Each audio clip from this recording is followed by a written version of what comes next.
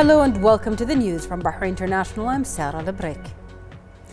The cabinet expressed its sincere congratulations to His Majesty King Hamad bin Isa Al Khalifa and to His Royal Highness the Crown Prince and Prime Minister Prince Salman bin Hamad Al Khalifa on the 20th anniversary of the National Action Charter.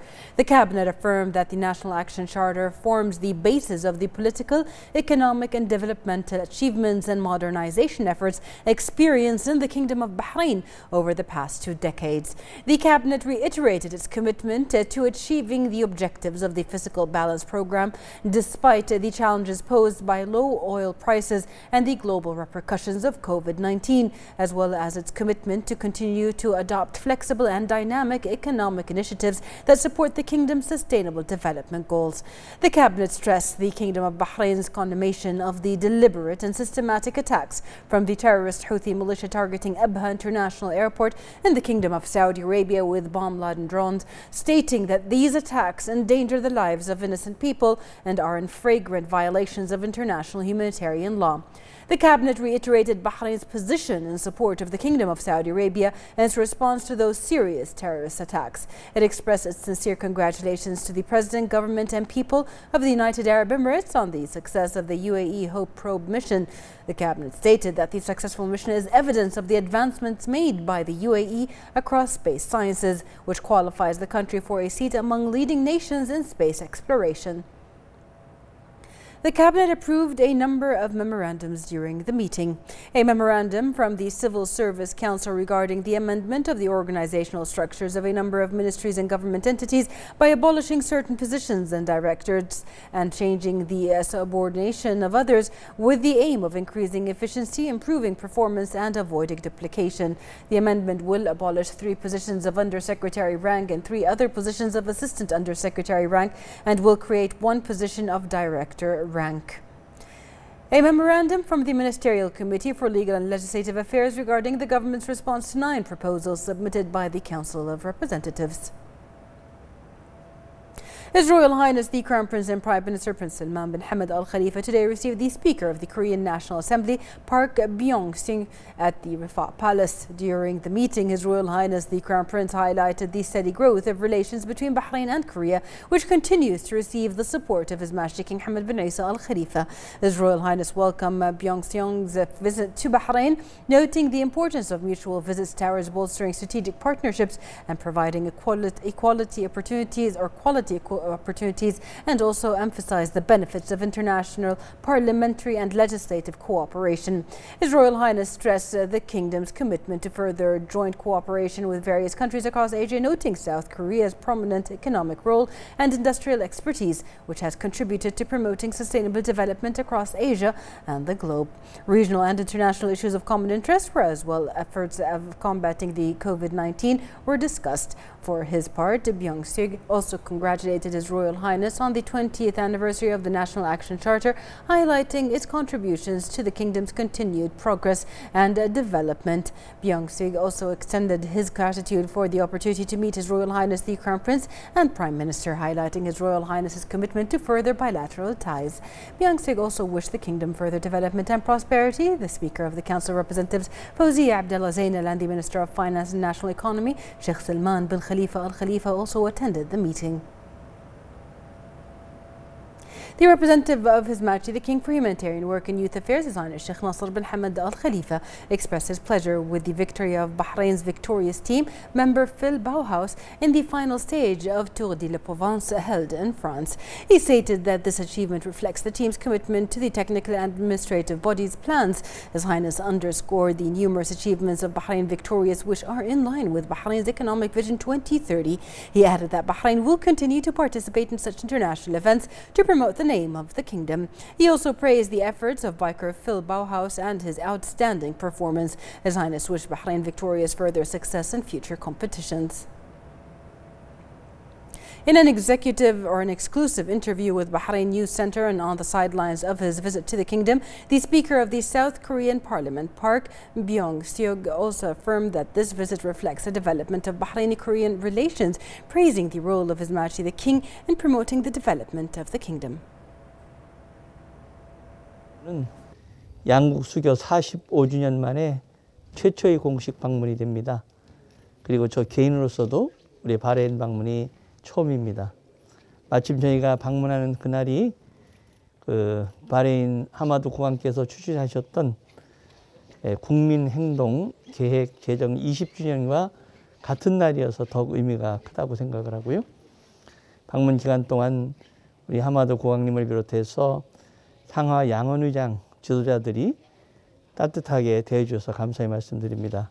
특히 예, 국왕님을 비롯한 여러분들이 바레인의 발전 그리고 지역의 평화를 위하여 애쓰시는 모습에 큰 감명을 받았다는 말씀을 먼저 드리겠습니다. 우리 국왕님께서 예, 굉장히 인자하시고 특히 이 중동 지역에서의 평화 그리고 우리 바레인의 번영 삶의 질의 향상에 대해서 그리고 코로나의 예, 방역에 관해서 깊은 관심과 애정을 보여주신 것에 대해서 높이 예, 존경의 마음을 표하고요.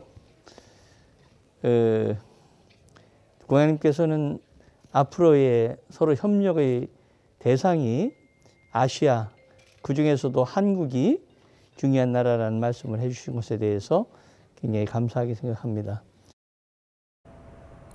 The National Institute for Human Rights began the process of applying alternative sentences to a number of convicts where the existing sentences that restrict their freedom, such as imprisonment, would be replaced with others that are based on community service and rehabilitation. These measures would make up for the remainder of the prison sentences for the convicts in question. To, mark, uh, to mark the occasion, the chairperson of the National Institute for Human Rights, Maria Khoury, said that alternative sentences are based on the rehabilitation of the convicts in order to reintegrate them into society with the goal of humanizing the punishments and spread of love, tolerance and social responsibility. She affirmed that the National Institute for Human Rights participation in this effort alongside a number of other relevant parties are a part of the strategy to enhance the field of human rights in the Kingdom of Bahrain. She also affirmed the kingdom's faith in alternative sentences, which she said represents a pioneering effort in the region. Khoury called on all of those who will benefit from these measures to take full advantage of them through positive interaction with the relevant authorities and cooperating with them. The Kingdom of Bahrain is moving forward with tremendous efforts to achieve all Sustainable Development Goals 2030. Public and private institutions are working tirelessly to achieve those goals. The United Nations recently listed Ahliya University as a partner in achieving those goals.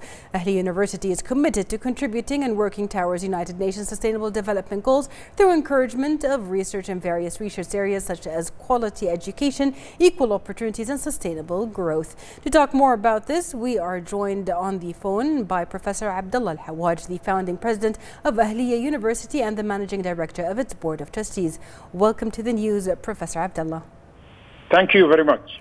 Tell us about the Ahliya University's plan to achieve Sustainable Development Goals 2030 and how do you work with the United Nations in this regard?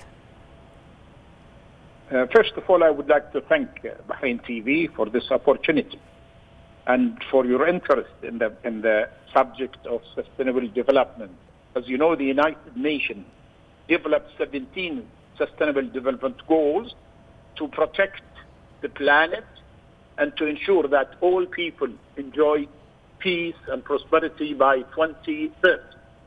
Higher education institution plays a vital role in promoting and achieving these goals. So Ahliya University, the, it's very important to contribute towards the United Nations Sustainable Development Goals. Ahliya University is committed towards these goals and want to show as a leading private higher education in Bahrain. So Ahliya University developed a sustainable development plan for the next five years. The plan is developed to reflect Ahliya University commitment toward these goals and to contribute to national strategies as well as international standards. So Ahliya University started with seven, uh, selected seven goals, you know, and the plan is to go, uh, and we selected these seven goals carefully. With the, the, it has to do, of course, with the strategies and with the government directions in Bahrain. So we selected SDG number three, which is good health and well-being, And of course, we must select uh, SDG 4, which is the quality of education that is aligned to national strategies by the Higher Education Council in Bahrain and by Bahrain Quality Assurance. We also selected gender equality because it's very important and Bahrain government believes in gender equality, which is allowed with the Supreme Council for Women initiatives. We selected also Standard 8, decent work and economic growth, and Standard 9, industry, innovation, and the infrastructure, reduced inequalities because of the poor people and, and the partnership with the goals. So we're working towards that, hoping that Ahliya University as a leading private higher education in Bahrain works with the, uh, to fulfill this sustainable and by the reach by the year 2030 and Bahrain as a part of the economic vision 2030 it coincides with the uh, 17 uh, SDGs by the United Nations and we want to reach 2030 right. fulfilling all these 17 goals you know so I am very very happy that Ahliya University is being uh, يعني put as a partner with the United Nations in fulfilling this. Right. And, and, this, this contribution by Ahliya University and its commitment is a very important part of the stride of Bahrain itself. How do you see the Kingdom of Bahrain is faring in achieving these goals in general? As you know, you know, we these days celebrate the great national charter, and we have a very clear vision it's been given by the king. He wanted to show, to show Bahrain as uh, a country of the greatest services to humanity. And uh, to go online with the aspiration of the king of Bahrain and the government of Bahrain, we must align ourselves with the requirements of the uh, United Nations, and these 17 sustainable goals are very important to be achieved.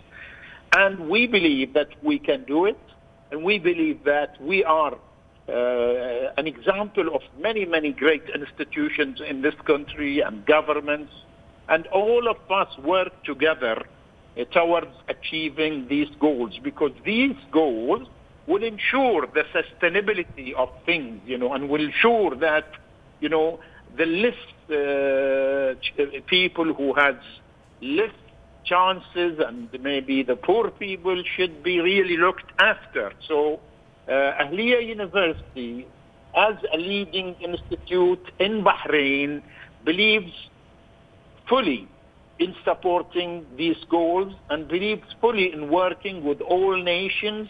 And this coincides exactly with our uh, vision and the vision of the National Charter of Bahrain and the vision of the Great Reform project uh, by the King of Bahrain. Yes, well said. Thank you very much. That was Professor Abdullah Al Hawaj, the founding president of Ahliya University and the managing director of its board of trustees.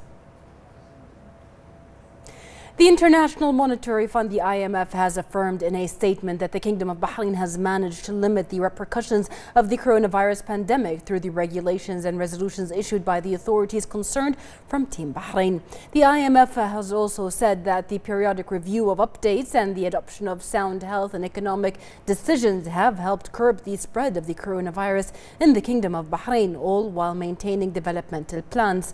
The statement underscored that the Kingdom has managed to provide the vaccine to all citizens and residents free of charge, in addition to supporting individuals and companies in the sectors most affected by the pandemic by increasing liquidity. The IMF praised the kingdom's continued commitment to achieving the main objectives of the Fiscal Balance Program and implementing its initiatives.